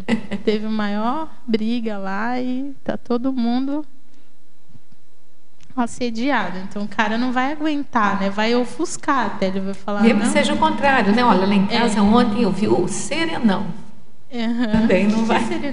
É, isso é um fato que eu observei no Brasil aqui. Eu, eu, morei na Inglaterra dois anos. Quando eu cheguei, eu peguei um ônibus e vi o cara, assim, nem conhecia o, o motorista, mas eles estavam conversando ali como se fossem, sabe, abrindo, chegando em casa e abrindo a geladeira já. Falei, nossa, gente, mas como assim? Não tem uma diplomacia assim, né? Se já chega e já vai falando, já então tem que tomar cuidado. Antagonismologia, página 13, primeira linha. Poderia comentar o antagonismo retrovidas às setas, retrovidas prostituídas? Sim. Um, as setas são os monges né, que vivem é, isolados, meditando sobre a, sobre a vida. E como o misticismo ele reprime muito a sexualidade, deve ser bem difícil para um asceta admitir, asceta, é, admitir que na vida passada ele foi uma prostituta, por exemplo, né? Porque a prostituta ela é, ela é bem, como se fala, excluída da sociedade, né? ela faz uma assistência ali que não é aceitável na nossa sociedade. E, é, e é a mesma coisa ao contrário, né? Como é que uma prostituta era em várias vidas e hoje é uma seta ou é um padre, né? Então a pessoa quando ela se ela se der conta dessas retrovidas, como que ela vai lidar com isso? Será que ela vai assumir, vai ficar com vergonha? Né, as mulheres, ou, ou mesmo os homens, né, que são hoje homens super sérios, e nas vidas passadas foram mulheres promíscuas. Né? Como que eles vão lidar com esse passado? A pergunta é, vai assumir ou vai é, sumir? Vai assumir ou vai, vai sumir? Vai sumir. né? Tem que assumir, não sumir, é. né? Então, Fatologia, página 12, é, nona linha de baixo para cima, poderia aprofundar o esquema de defectividade e vergonha? Sim, esse é um esquema da psicologia proposto pelo Jeffrey Young, né, um psicólogo americano, na sua teoria dos esquemas. É, esquemas são uh, construtos mentais né, formados por crenças disfuncionais. Né? Nesse caso aqui, uma crença disfuncional está por trás disso. E é quando a pessoa se sente defeituosa, né? Ela sente que uh, ela é involutiva, é, ela é defeituosa, ela sente vergonha porque ela não é perfeita. Né? É, na, na fatologia, página 12, final da, da 14 linha, poderia explanar sobre o ato de enxergar os sentimentos como fraqueza? Eu acho até que você já falou é, alguma já coisa. Falei. Uhum. Mas faz uma síntese, né? Porque a pessoa pode ter. Sim. Ah, assim, diante da racionalidade, a afetividade ela parece tola, né? Ela parece algo bobo, assim, infantil, imaturo. Então, as pessoas que tendem a têm dificuldade de manifestar as, as emoções, elas tendem a ir para a racionalidade como forma de suprimir isso, né? Então agora eu vou só focar na racionalidade porque emocionalidade é muito muito bobo, assim, principalmente dentro da conscienciologia, né? As pessoas falam assim: "Ah, emocionalidade é muito subcerebral ainda, né? Artista, muito psicossomático. é psicossomático, o negócio é mental soma.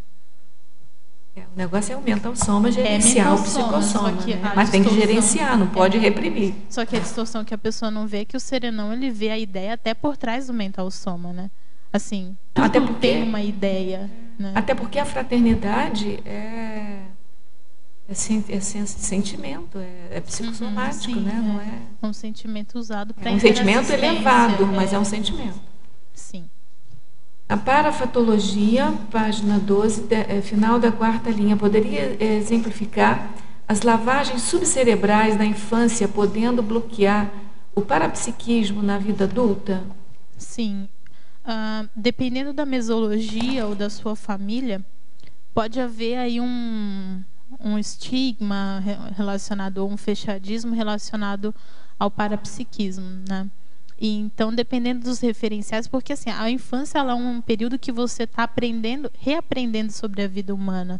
Você está ali é, programando muita coisa do que vai ser manifesto na adultidade. Então, tem que cuidar o que está sendo programado ali, o que está sendo ensinado, né?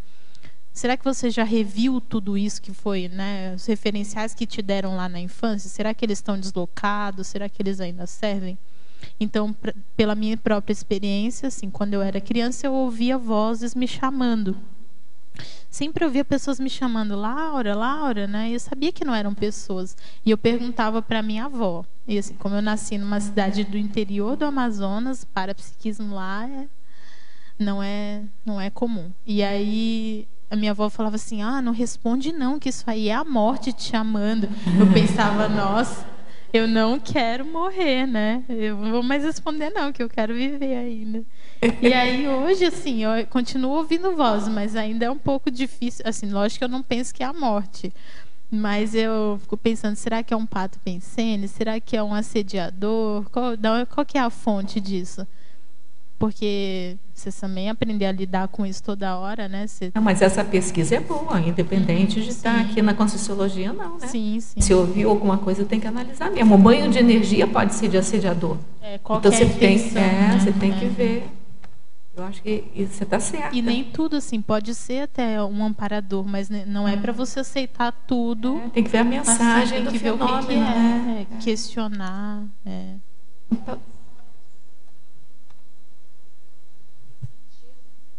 O desenvolvimento da sinalética pode ajudar, né? É. Você perceber a hora que você consegue identificar de onde que vem, então daí você já é. tem uma segurança maior. Em parafatologia, página 12, quinta linha de baixo para cima. Pode explanar, se possível, com exemplos, a projeção extrafísica vexaminosa patrocinada pelos amparadores?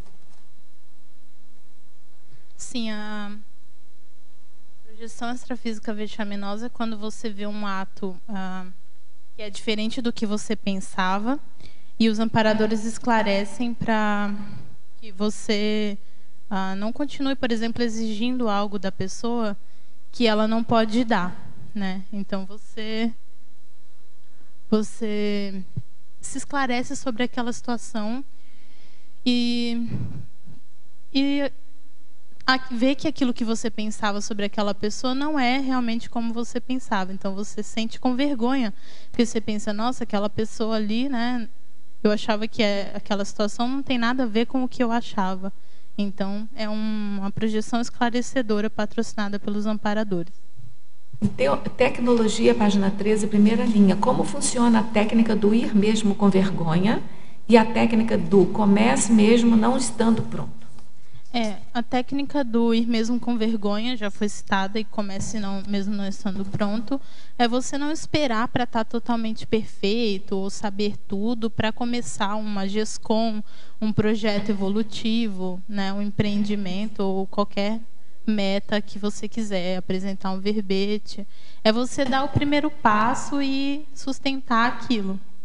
Né? Mesmo que você não saiba ainda muito bem, vai aprendendo durante a experiência. Isso, importante, né? Estar aberto para aprender é. durante a experiência. Exato.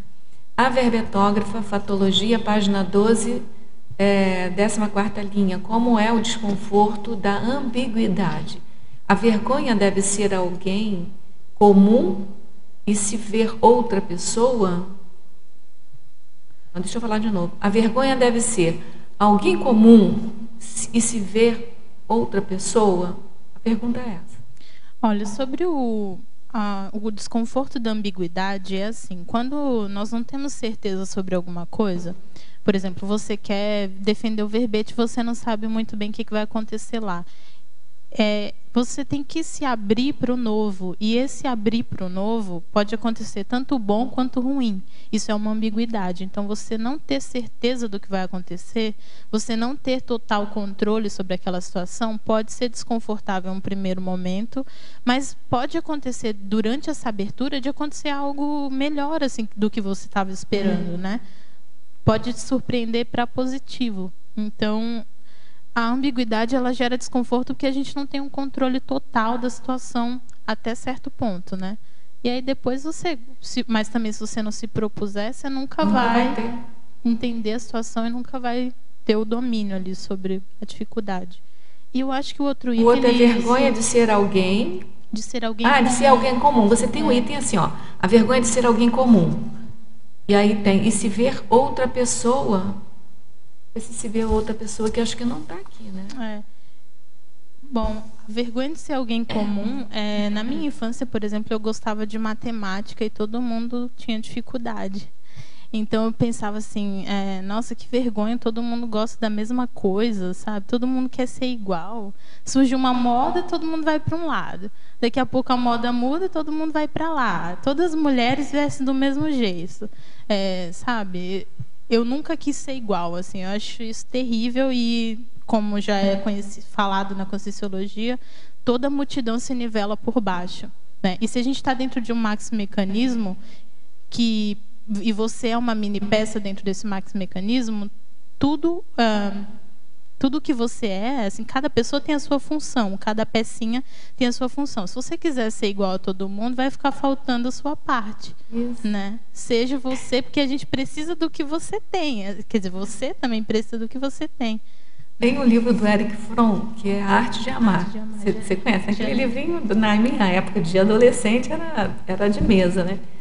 Então, assim, é, ele fala sobre isso, que as pessoas, para se sentirem unidas umas às outras, precisam de ler as mesmas revistas, de ler os mesmos livros, de falar as mesmas mesmas conversas, de usar as mesmas roupas, daí a moda.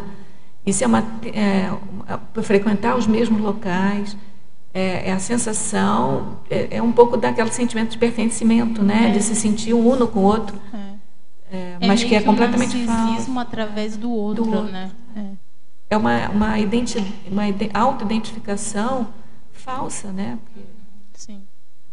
Vamos lá, Fatologia, página 12, quarta linha de baixo para cima. Poderia falar da empatia? A empatia é a capacidade de se colocar no lugar do outro, né? De, de calçar os sapatos do outro e compreender como que ele pensa, né? Como que é essa matriz pensênica diferente da sua. Para isso você tem que abrir mão um pouco das suas preferências, né? Do, de como você é, para buscar entender o outro, como que ele funciona e aí poder ajudar. Porque se você quiser ajudar o outro é, de acordo com os seus valores ou o que você acha que a pessoa deveria seria bom para ela, o que ela deveria fazer, não vai ajudar, né? Porque você não sabe o que se passa na cabeça dela. A gente tem mais duas perguntas, o nosso tempo esgotou. Eu vou ler rapidinho, ver se você tem alguma coisa para falar. É, para a fatologia, página 12, segunda linha, poderia falar o ato, do ato de querer disfarçar as autocorrupções escancaradas às multi, à multidimensionalidade. E a outra é, página 12, sexta linha, de baixo para cima, poderia comentar a sensação de estar nu perante os clarividentes? Poderia falar a respeito dessa vivência? Então, são É, isso só para quem é parapsíquico, né? Não tem parede, teto, chão, é tudo escancarado para quem tem olhos para ver, ou para-olhos. Então não adianta querer mascarar. Laura, o tempo da gente acabou, a gente poderia ficar discutindo mais vezes. Eu peço desculpas porque eu não consegui o tempo para devolver a, a Laura para vocês fazerem perguntas. Mas a gente parabeniza você pelo primeiro verbete, está excelente. A sua defesa foi maravilhosa. A gente aguarda outros verbetes seus, tá certo? A gente agradece muitíssimo a presença de todos vocês aí, com as perguntas, com a movimentação aqui da tertúlia. A gente agradece a todos os teletertulianos e passamos então para as nossas divulgações. Obrigado. As pontuações da tertúlia de hoje são 42 assinaturas no livro de presença, 18 perguntas presenciais e 30 perguntas respondidas online. Hoje nós temos dois recados. A Eliane com a quarta jornada de Parapercepciologia e o Eduardo com o curso ECP2 em Buenos Aires.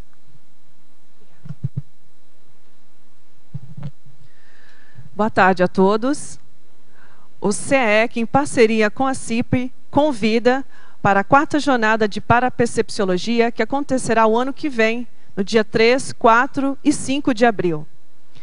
Essa jornada tem o objetivo de estimular o intercâmbio científico entre pesquisadores sobre a utilização lúcida e responsável do parapsiquismo interessencial e cosmoético. Para que vocês enviem os trabalhos, podem acessar o site da ACIP, www.acip.org, e verifique as temáticas relacionadas à parapercepciologia. E envie os seus trabalhos no e-mail jornada parapercepciologia@caec.org. Obrigada.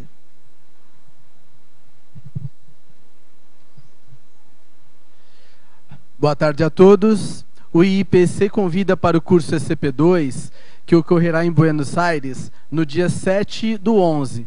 Nós já estamos divulgando porque uma viagem internacional ela requer um, um nível de antecedência na organização. E esse curso acontecendo em Buenos Aires, ele, ele proporcionará para quem for até lá a oportunidade de uma experiência internacional, possibilidade de retrocognições, de, a pessoa vai estar funcionando num holopensene diferente, né? a possibilidade de assistir outros grupos que não aqueles aonde ela é, navega normalmente, né? E também co colaborar com o movimento de, da conscienciologia ah, acontecendo também ah, no planeta em mais localidades. Lembrando que o curso SCP-2 é um curso de campo. Ele tem dois campos, um no sábado de manhã, outro no domingo de manhã. E esses campos é, são campos de energia formados através do EPICOM e, e da equipe, e eles possibilitam é, uma melhora em geral na pessoa, a, a partir dela estar tá predisposta, ela pode estar tá fazendo, de repente, uma, até uma reurbanização das companhias extrafísicas, qualificando essas companhias, porque ela participa do campo, ela vai ter oportunidade de, de, de funcionar sem as interferências extrafísicas rotineiras nas quais ela às vezes não identifica, e ela, a partir disso, ela tem ideias novas, ela pode estar tá consolidando, consolidando decisões que tomou. O curso ajuda muito porque é um aporte na vida da pessoa. Então, repetindo, eh, nós temos então a turma de Buenos Aires, que nós estamos divulgando antecipadamente, no dia 7 do 11 deste ano. Eh, informações, maiores informações, telefone do IPC ou do IPC mais próximo da sua cidade, mas o daqui de Foz é o 45 2102 1448 e o site www.iipc.org. Até lá!